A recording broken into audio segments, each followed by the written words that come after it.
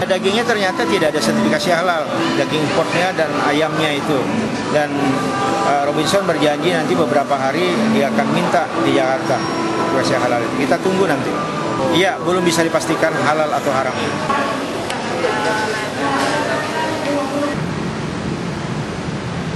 Sama itu saya, saya tahu itu makanan yang mengandung babi itu ada aturan lembaga konsumen ditulis mengandung babi dan dikasih sekat. Ini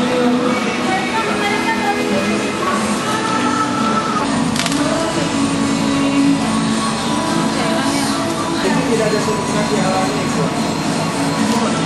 Hari ini. Ketua mana Pak? Ketua Majelis Ulama Samarinda. Ya.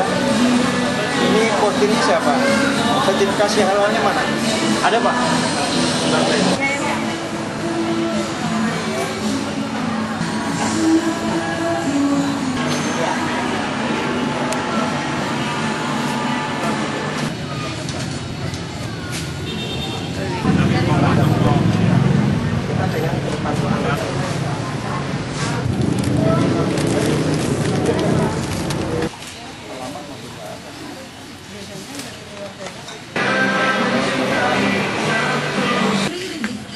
Oh,